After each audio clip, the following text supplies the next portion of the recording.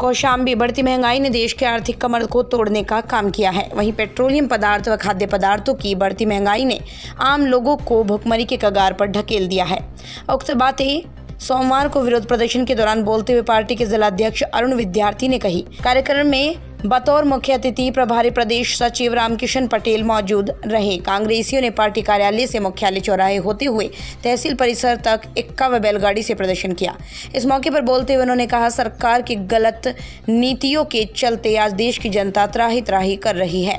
कांग्रेस के जिलाध्यक्ष अंकुर शुक्ला ने कहा, आज सरकार की नीतियों के चलते युवा रोज़गार से वंचित है। इस मौके पर बोलते हुए एनएसयूआई जिलाध्यक्ष अमित द्विवेदी आज़ाद ने कहा, सरकार की नीतियों के चलते आज विद्यालय पूरी तरह बंद है। आज छात्र तैयारी नहीं कर पा रहा है। उन्होंने तत्काल शिक्षा के लिए व्यवस्था किए जाने, छात्रों को आर्थिक सहायता उपलब्ध कराए जाने की बात कही। इस मौके पर मानवाधिकार कांग्रेस के जिलाध्यक्ष जितेंद्र शर्मा, अल्पसंख्यक कांग्रेस के जिलाध्यक्ष तमजीद ने भी बैठक को संबोधित किया।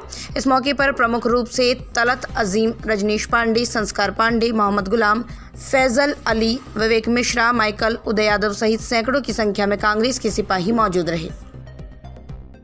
केंद्र सरकार और मोदी जी की गलत नीतियों के चलते आज प्रदेश की और देश की जनता भुखमरी के कगार पे है।